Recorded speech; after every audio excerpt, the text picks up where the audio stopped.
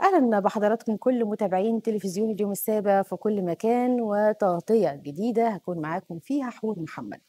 الحقيقة إحنا اشتقنا جدا لشهر رمضان وخلاص هانت كلها بعد غد السبت وهيكون أول يوم في شهر رجب واللي طبعا بيقول لنا إنه خلاص فاضل آه، شهر ويعني هنستقبل شهر رمضان وهنبدأ نشوف كل الطقوس الرمضانية اللي بيتميز بيها الشارع المصري.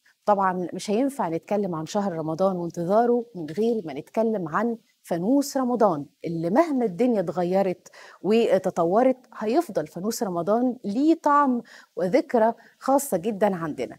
طيب إزاي الأسواق المصرية هتستقبل شهر رمضان؟ وإيه أخبار الفوانيس؟ ده السؤال اللي هيجاوبنا عليه الأستاذ بركات صفا نائب رئيس شعبة لعب الأطفال والهدايا بغرفة القاهرة التجارية. أهلا بحضرتك يا فندم معانا. أهلا بحضرتك بالساده المشاهدين كل سنة وحضرتك طيب. وحضرتك بألف صحة وسلامة. رمضان كريم إن شاء الله. الله أكرم. آه، في البداية عايزة أسأل حضرتك آه، إيه أخبار فوانيس رمضان السنة دي؟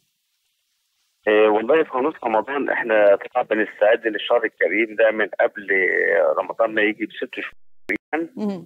إيه طبعا إحنا كنا الأول بنستورد الفانوس من الصين. حاليا إحنا تقريبا بنصنع 100% إيه الفانوس في مصر هنا.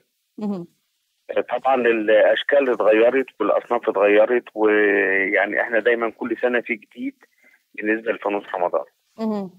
طيب إيه المتوقع في الأشكال السنة دي الأشكال السنة دي إحنا طبعا ال- الفانوس بقى متنوع يعني إحنا بنعمل الفانوس اللي زي كاس الصين بتعمله بالظبط. اللي هو الفانوس البلاستيك اللي بيغني وبينور. بنعمل دلوقتي الفانوس الخيامية بنعمل فوانيس الخرز بيتعمل فانوس الصاج بيتعمل النهارده فانوس بيصنع من الحديد. الفورجيه. إيه، النهارده في بيتعمل النهارده في ال- على الفوانيس كل ما هو جديد زي اللي بيجي في البرامج التلفزيونية. النهارده بتبقى موجودة على الفوانيس أحدث حاجة طبعا. الأسعار مش غالية أسعار في متناول الجميع. يعني في حدود كام بالظبط يا فندم؟ آه يعني إحنا حضرتك ال- الفانوس المفروض إن هو للمستهلك بيبتدي حضرتك من أول آه، آه، طبعا الفوانيس اللي بتغني بتنور من أول 30 جنيه. آه، طبعا لحد حوالي مثلا آه، 40 أو 50 جنيه. في طبعا حاجات بنعملها جديدة السنة دي لعبة رمضانية. اللي تبتدي طبعا من أول حوالي 60 و65 جنيه. لحد حوالي 85 جنيه. آه، طبعا الأشكال متعدده والأصناف موجودة كتيرة.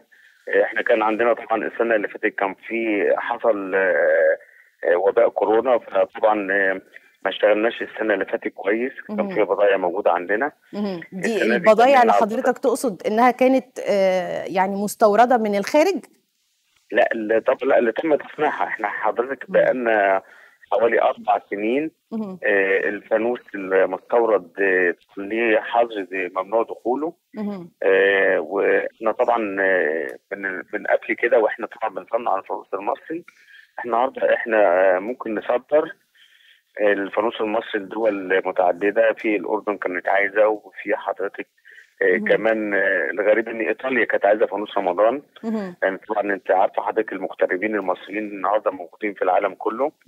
وطبعا هم بيحتاجوا فوان- فوانيس رمضان للبصر يعني طب إيه أكتر الأشكال اللي عليها الطلب ال- حضرتك طبعا أي فانوس آه، حضرتك بيغني وبينور. أكتر شيء عليه الطلب لأن طبعا أنت عارف الطفل النهارده مش عايز لعبة صامتة. أو مش عايز فانوس صامت فطبعا الفوانيس كلها اللي هي بتبقى عبارة عن فوانيس متحركة أو بتنور أو بتغني. هو ده اللي الطفل بيسعد بيها وبيلعب بيها لكن الفوانيس مش مرتبطة آه، بالأطفال بس. إحنا كمان آه، الكبار لينا آه، ذكرى خاصة جدا مع الفوانيس. عشان كده يمكن توقعت إنه حضرتك هتقولي إنه شكل الفانوس ال- القديم هو اللي عليه الطلب أكتر. طبعا إحنا طبعا الفانوس الكلاسيك طبعا إحنا إحنا بالنسبة كمصنعين وكمستوردين وكتجار. آه، طبعا بنتجه للفانوس الأكثر هو الفانوس التقليدي.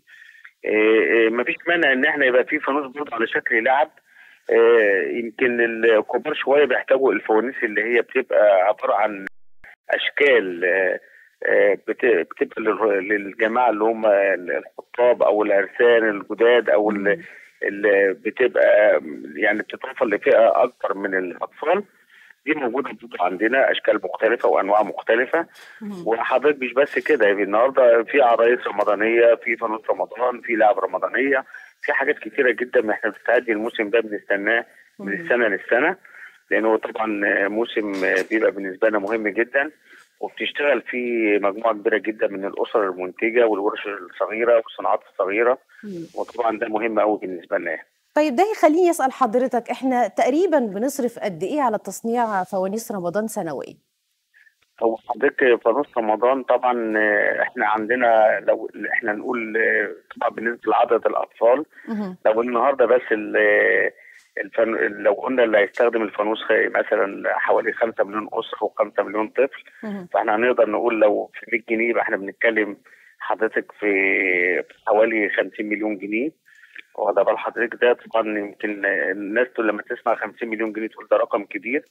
لا ده رقم مش كبير لأن نصيب الطفل صغير جدا بالنسبة للعدد آه وطبعا إحنا كويس إن إحنا كصناعة مصرية بنقدر نغطي احتياجات السوق المصري. لكن هو المفروض أصلا يبقى ال ال الرقم قد إيه علشان يبقى فيه آه، إرضاء للسوق المصري ومتوازي مع فكرة الإنتاج والطلب كمان عليه والله إحنا المفروض يبقى أكتر من كده لكن نتيجة آه، حضرتك يمكن عارفة ال- الأسر المصرية دلوقتي آه، تجاه للمستلزمات الأساسية زي المدارس وال والمصروفات الأساسية لل- للمنازل يعني. فاحنا النهارده الفانوس رمضان يعتبر حاجة تكميلية لكن إحنا بنحاول إن إحنا على قد ما نقدر نكون متواجدين. القوى الشرقيه في ال- طبعا أنت عارف حضرتك إن هي ضعيفة بسبب آه، جائحة كورونا. بسبب الأزمة اللي إحنا فيها الأزمة الاقتصادية على العالم كله مش على مصر بس. وبالتالي إحنا كان المفروض إحنا حجم انتاجنا يوصل ل 300 مليون لكن إحنا الرقم اللي إحنا بنقول عليه دوت آه، رقم متاح حاليا لأن بسبب اللي حصل السنة اللي فاتت من جائحة كورونا جميع المنتجين آه، يعني قللوا في إنتاجهم جدا عن السنوات السابقة. نتيجة طبعا إن ال- كان في من السنة اللي فاتت في ركود وكان في وضع موجودة في المخازن بأرقام كبيرة طبعا مم. وده اللي خلى الناس السنة دي الانتاج يبقى أقل من السنة اللي فاتت طيب ده خليني بقى أسأل حضرتك سؤال أخير آه، إمتى هنبدأ نشوف الفوانيس في الأسواق المصرية؟ إن شاء الله بن بن من أول يوم آه، 20 أو 22 آه، فبراير هيبتدي إن شاء الله عرض الفانوس. في الاسواق الجملة في أسواق المت والمناطق اللي فيها البيع بسعر بأسعار الجملة. آه، إن شاء الله قدامنا أسبوع كتير قوي أو 10 أيام نكون جميع أنواع الفوانيس معروضة. آه، وربنا يوفق الجميع إن شاء الله. إن شاء الله. كل سنة وحضرتك طيب. حضرتك طيب والسادة المشاهدين بخير. أستاذ بركات صفا نائب رئيس شعبة لعب الأطفال والهدايا بغرفة القاهرة التجارية. كنت معانا بشكر حضرتك. شكرا جزيلا. شكرا. شكرا لحضراتكم كل متابعين تلفزيون اليوم السابع وانتظرونا على مدار اليوم في تغطيات أخرى. إلى اللقاء.